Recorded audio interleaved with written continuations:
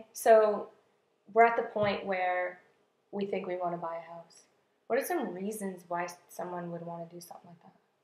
They want to upsize. They want to downsize. They're renting. They So they're paying somebody else's mortgage, Yeah, not reaping the tax benefits. That doesn't sound like a good idea. Yeah, I, I can see why someone would want to do that. right, and probably paying more for rent than what they could with a mortgage. Most likely paying more for rent than what they could for a mortgage. Same house. I yeah, bet. Or bigger. Yeah. And then also people are living with family, Right. so they need to move. That's interesting. putting two families together. I've been there. It's been tough. I, I did that for a month this year, and it Yeah. was not fun. Definitely a good reason to move. yes. So the emotional part of a move is really well, home is where your heart is. Mm-hmm. That's that's where you. I mean, that's your place sanctuary. to call your own exactly. that you're proud of. Right. Those are all good reasons. I think definitely we're going to look for a house too. How about you? Yeah.